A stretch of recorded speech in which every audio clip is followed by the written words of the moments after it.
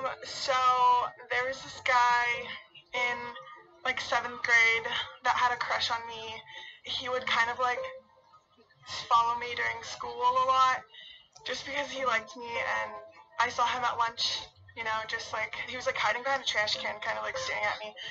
And I like went up to him and I said, I hate you, why do you exist? Since that day on, he didn't talk to me or anything. And this is probably the worst thing I've ever said to anyone. So I felt really guilty afterwards. I didn't really say that I was sorry or anything because I was just like in middle school and it made me look cool. So I thought it was okay to say things like that. But now, like looking back at it, I hope it didn't follow him or anything.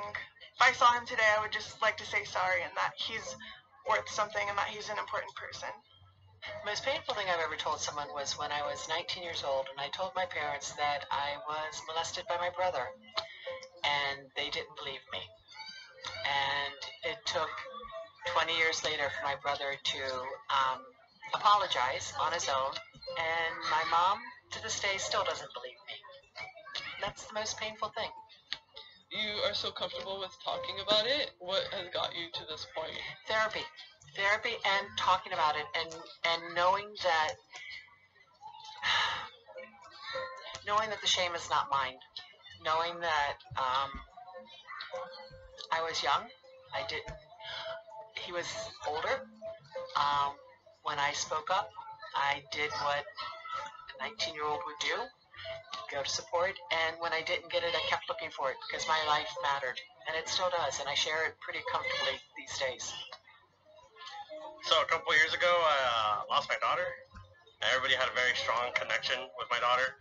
And it was heartbreaking to have to tell each and every person individually uh, what happened to her and why she passed. She passed away of SIDS, sudden infant death syndrome.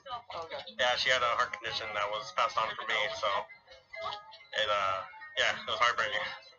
Um, I told my dying mother that I no longer want her in my life, that I can no longer support her and give her the love and affection that she wants because she ruined too many chances.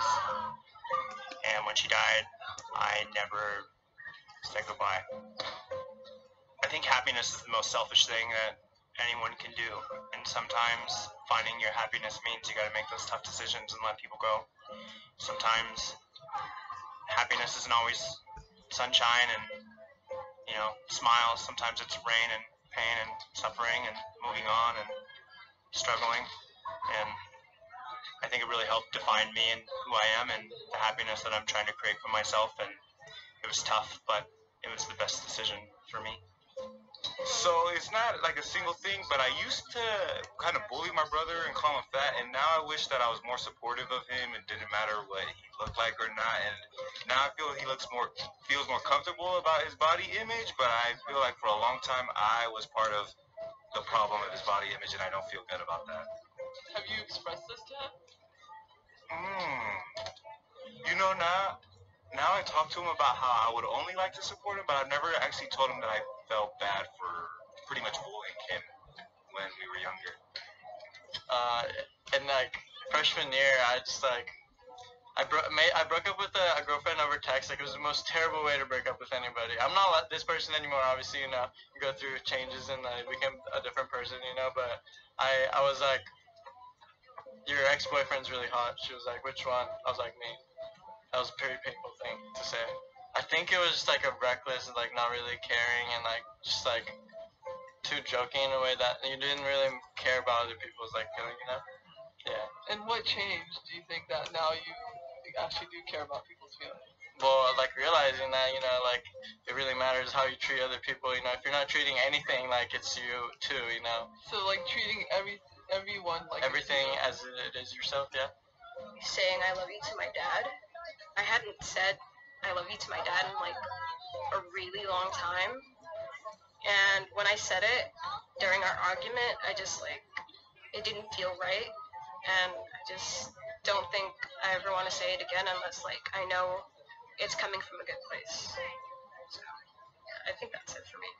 before like before now you can't really tell but i used to be a little bit rounder a little bit more chubby and a lot of people would tell me like oh you lost a lot of weight some people think I lost the weight in a healthy way, but the way I actually lost it was really unhealthy, and I was just in a really bad. It was I was in a bad time in my life, and I just I straight up could not consume food or eat anything. So the most painful thing that I experienced was having to actually and truly explain how I lost weight. It was painful for me to explain because it's just kind of like, oh, yeah, that, like that's the reality of it, and that's actually how I lost everything, like all the weight. But we're good now. We're good now. We're thriving. I was really mad, and I told like, I told like my family like as a whole that they were doing like a bad job at being a family. Like I don't know what I was saying. I was kind of like mad. Like I love my family, and like we fight a lot, but like they do everything for me as much as they can. I talked to them that day. I was like, okay, I'm sorry, I didn't mean to say that because I can't go to bed like. Well, I can go to bed being mad at them, but I can't go to bed like having them like feel that way about upset. Yeah. The most painful thing I've told somebody is I've cheated on you. Something I kind of think about a lot actually, and how wrong it was, and uh, how sorry I am, and it kind of affects where I'm at today. Did they forgive you? Um, I don't think so. I'm